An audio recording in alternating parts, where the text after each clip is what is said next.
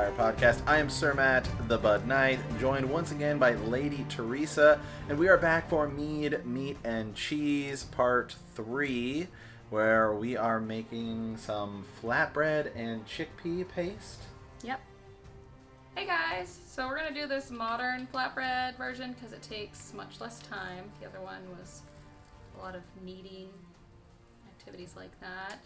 So I have a half cup of the one and a half cups of hot water, warm water that we're doing here. And I have two and a half teaspoons of yeast, or one packet is roughly that. So that's gonna go in. And then you add the honey to it. It's supposed to be about one teaspoon. I'm just trying to use the very last of this. All right. And so you're supposed to let that sit for 10 to 15 minutes until it gets kind of foamy. You can see it's already starting actually. So it's getting kind of yeasty. So we're gonna let that chill out for a minute. I have pre-measured three cups of flour here. I'm gonna add one and a half teaspoon of salt into there and then just wait for our yeast to be super happy. Okay, so I'd say that's foamy. It's pretty serious. Alright, so it said like make a little hole in your flour. Isn't that cute? This is three cups of flour. Gross. I don't know how people like make kombucha and other yeasty things. Beer. Well, I guess I don't understand how people make beer, but I don't know. also, shout out to our friend April who got us oh a yeah, spatula. this is our like donation to our cause, our uh, you know, Song of Ice and Fire cause of cooking. Said that we needed a ice spatula. Yeah. I don't know. Are we supposed to get a, a fire one too? All right. So now we're supposed to slowly add the rest of the one cup of water. Just kind of put that in there. Okay, so I stirred in the rest of the water. It looks pretty sticky. I'm gonna flour my hands and get to it here. Kind of just plop it onto there. And you can try to scrape some of that out. All right, that'll do it. Add some flour on top. Make a huge mess. All right. So you're supposed to knead for 10 to 15 minutes, which is a lot. So I'm gonna kind of get it started with flour on the counter here, and then it's gonna go in the KitchenAid, um, because I already worked out today, so I'm I'm good.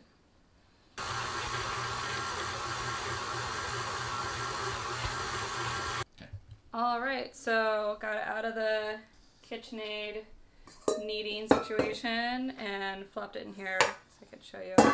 It's like pretty, you know, doughy. Seems pretty happy. Um, went to a greased bowl, greased with olive oil, and then it's supposed to just hang out for an hour and rise in a warm area. So I turned on the oven for just a minute to kind of warm up that area, and then I'll just shut it off uh, until we're closer to being ready. I'm not a big bread maker, and only really make pizza dough, so we'll see how things go.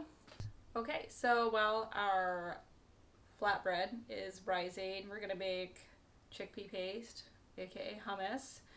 Um, have the ingredients out here: garbanzo slash chickpeas, salt, olive oil, tahini. Um, this is some people substitute peanut butter. I couldn't find tahini at our store, but our friend of mine, I knew she would have some. Saw her recently, so I borrowed some from her. Lemon, chopped garlic. This is the liquid out of the can from the beans. Um, this is supposed to be the garnish, is like some whole beans and paprika. The recipe calls for 19 ounce can of beans. Cans come in 15 ounces. So, what are they talking about? I don't know. Maybe it's, maybe it's in another country it's different. I don't know. So roughly everything should be like, you know, this is this is only three quarters of the recommended bean amount, or you know, it's missing some. So I might like try to do a little bit less on all this because that's weird. So we're gonna use Cuisinart. Um, I imagine in Game of Thrones land they would use um, a mortar and pestle because that's how you can smash things. Um, luckily, we don't have to do that. This is the olive oil. Saving a little bit out. And then this nice peanut butter situation here.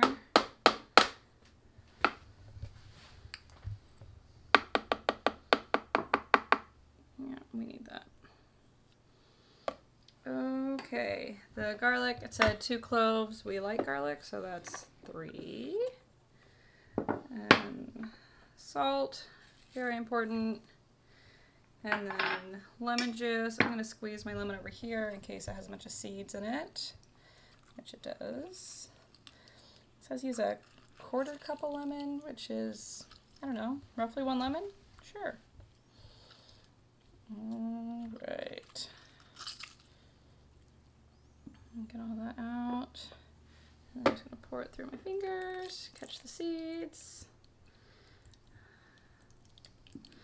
All right, and then we're gonna blend it. All right, so we're gonna food process it. And you're supposed to slowly add the liquid back in till it's creamy.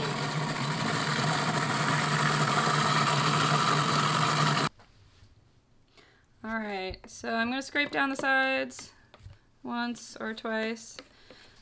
Make sure there's not too much chunkage. This looks pretty creamy. What do you think, Sir Matt?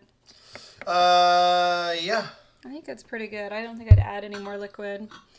All right, here's our hummus. And we do our little um, garnish. I'm coming out of a giant can, so I'm trying to be super careful. Um, I tasted it by licking the spoon. It's kind of bland, so I'm going a lot on that. And then here's our little garnish situation. Isn't that cute? All right, and then we'll uh, smear that on some flatbread once we get it going. All right, so here's our twice risen well, it's risen to twice the size. I think it looks like twice the size. So I'm gonna put some flour on my hands. Yank it out here somehow. Okay, rolling out into a rope. Uh, see, I don't. I don't think if I rolling pin this, it would. It's gonna go off the counter. I'm supposed to be able to cut it into 10 to 12 pieces, which I'm gonna say that's about. Sorry, I need flour over here. I don't know that that'll.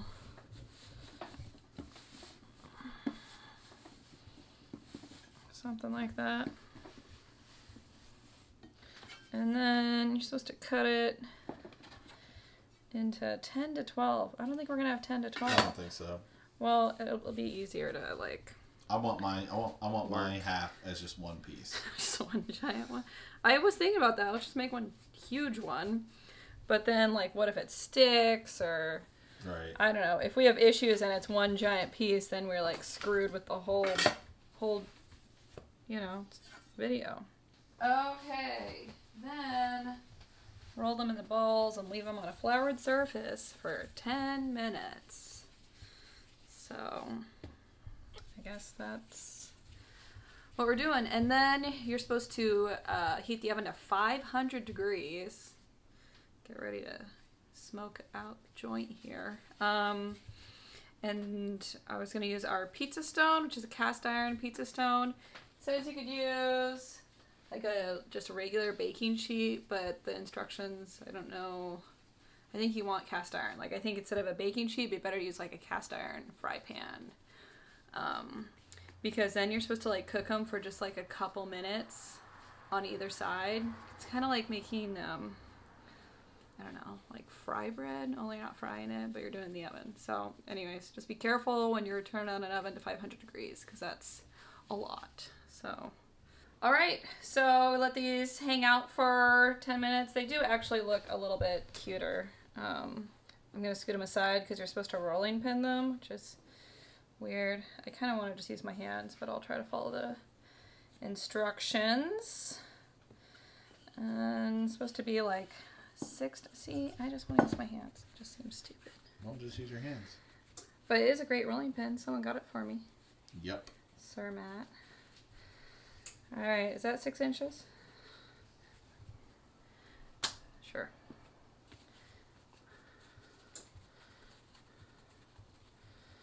Alright. So yeah, so I'm supposed to roll these out. I did not turn up the oven, but I will do so. I put our um, pizza stone in there. I oiled it. Um, it already had uh, canola on it, so I just put more canola on it. And so that's supposed to heat up to 500 degrees and supposed to slap these puppies on there only for a couple minutes. Flip them for one minute and then take them off. So I think it'll be pretty. It's kind of like tortillas. All right, so oven is at 500 degrees and stone is hot, feels really hot. I'm gonna scoot this out a little bit and toss some of these down there, I guess. So no, we're only supposed to do. Know, we only have them on there for like a minute. That's not true. Isn't that what it said? I mean, yeah, but it's gonna take longer than a minute. Well, I just follow the directions. I know, and then you have chewy dough to eat. Okay, so a minute or possibly Here, I have the light on. two minutes Check it out. until they're brown, and then we flip. Yes. And then it said don't smash it with the spatula because you don't want all the steam to go out from the inside. I don't entirely know. Is it gonna puff out into like a What's Like a- they said it's supposed to be pita. right, like a it's gonna like be like a bag of popcorn, like pop popcorn, and you're not supposed to like, you know. Yeah. I don't know. I have all the tools up because I don't know what I will want to Okay. use, and I'm gonna have to feel like I'm gonna have to be, you know, fast about it because, you know, you can't leave. You can't leave. So I gotta hang out mm-hmm. because things could burn. Okay, well, we'll come back in a minute. All right, so it's been 10 minutes and we're impatient, and one of them is kind of puffy, so I'm gonna flip it just to kind of see what we're working with. Yeah, so definitely not one minute like they kind of said. Gonna flip that guy over. I mean, that's looking good. I mean, it's brown on the top, but not on the bottom. Um, so yeah, so we waited 10 minutes, and now I don't know what we're gonna do. We're just gonna see if those other two puff up, give that other one maybe three or four more minutes, and then pull it out. I have a wire rack on the counter to set them on to cool, and then I don't know, we'll just keep cooking away. Sorry, we may have been fiddling on our phones and realized shit was burning.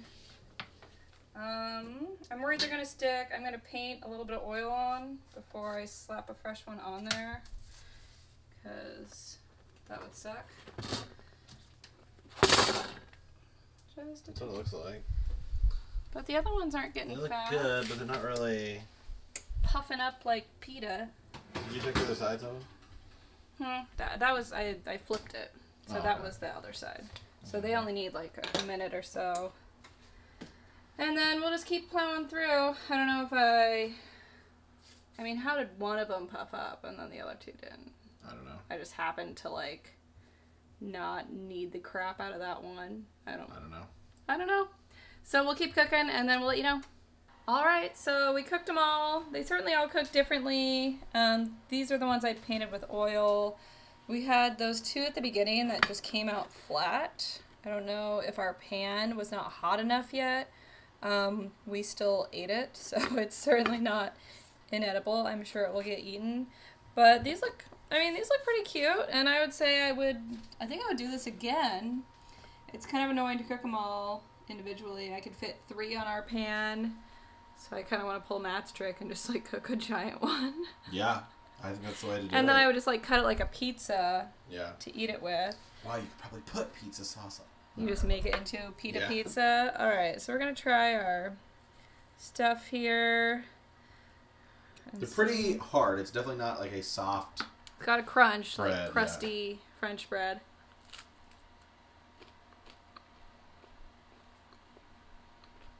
Both really good. The chickpea paste, that's what it's called per the book, AKA hummus. aka hummus.